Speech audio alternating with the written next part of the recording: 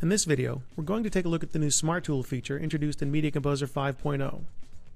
Smart Tool is designed to allow editors to perform common editing operations without having to enter specific modes from the timeline. The tool itself is broken down into five different individual tools. Segment mode for lifting and overwriting, segment mode for extracting and splicing, overwrite trim, ripple trim, and audio keyframe adjustments. Any combination of these tools can be engaged and disengaged simply by clicking on the tab to the right of the Smart Tool. Since the Smart Tool itself is all about saving you steps in terms of clicking around in the interface, the first thing you want to do is to map the Smart Tool to your keyboard. Introduced in association with the Smart Tool is the new Linked Selection button. Link Selection allows you to select a video clip and automatically select its related audio clips, and vice versa. Unlike the Smart Tool, I don't recommend mapping the Link Selection tool to your keyboard since you can employ it on the fly simply by holding the Option key. For example, with Link Selection disabled, if I click on a clip, it highlights just the video clip. If I click on a transition, it highlights just the transition. If I hold down the Option key while clicking on a clip, it will select both the video and audio clips.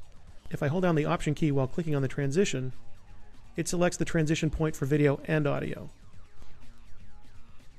Now that we have a basic understanding of how the Smart Tool is set up, let's explore it even further by taking a look at some practical examples of when and how you would use it. Notice that I have all five modes or tools activated within the Smart Tool. Now in this part of my sequence, I have a transition that presents a slight continuity problem. As I go from what we'll call shot A to shot B, I notice there are issues in continuity with both eye line and body placement. As I position the cursor near the edit point, you notice it automatically engages different trim modes. When I'm near the top of the track, it puts me into overwrite trim. If I move to the bottom, that's insert trim. And if I park right on the edit point, that puts me into dual roller trim.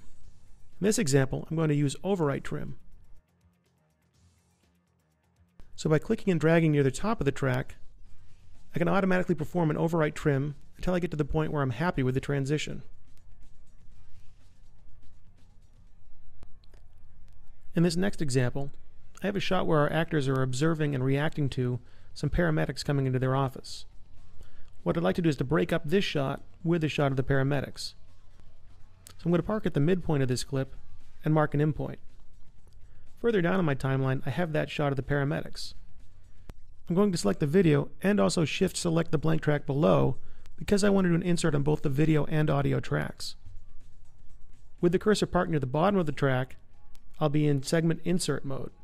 So I just click and drag, and by holding down the command key, I can snap to the endpoint that I marked on the track. Now I have an insert shot of the paramedics coming into the building. Now that I'm happy with that, I can take care of another continuity problem that I noticed. In this shot, the camera starts to pan to the left and you see the paramedics coming into the building. That's too soon. So what I want to do is take off some of the end of this clip.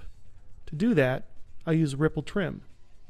So as I park near the bottom of the transition and click, that engages ripple trim on the outgoing point of shot A. I can't use link selection here because the audio and the video aren't related, but I can shift select the audio as well so that I maintain sync. By clicking and dragging to the left, I can fix the continuity between these two shots. We've already seen an example of how to do a segment insert using the Smart Tool. Now let's try doing a segment overwrite. I have a shot here that seems to go on for a little bit too long. What I want to do is to interrupt it with some B-roll. To do that, I'm going to use this shot down here. It's a shot of a guy being wheeled around on a gurney. To do the segment overwrite, I'll simply place the cursor near the top of that clip. The red arrow indicates that we're going to be in segment overwrite mode. From there, I just click and drag to where I want to place this clip over the original shot.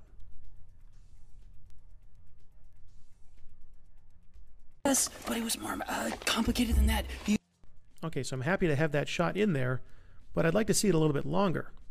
To do that, I'm going to use a dual roller trim. So I'll just park the cursor right on the transition and drag to the left to add to the front of that shot.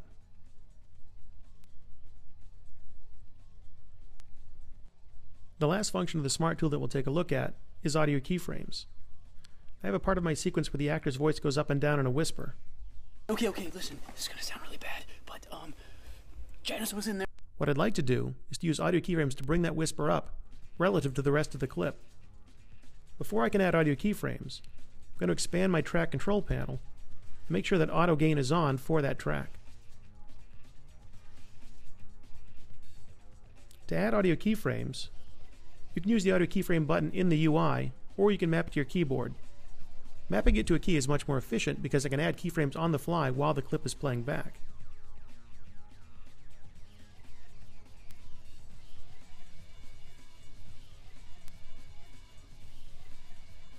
Okay, okay, okay. Listen, this is gonna sound really bad, but um, Janice was in there, and then he came and he started pounding on the doors.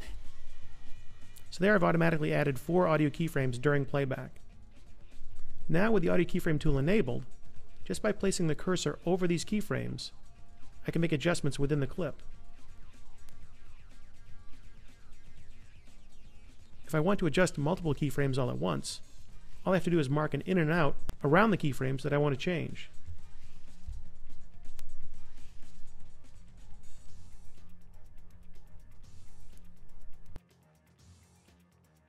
If I need to change their placement within the clip, holding down the Option key allows me to move them left and right within the clip itself.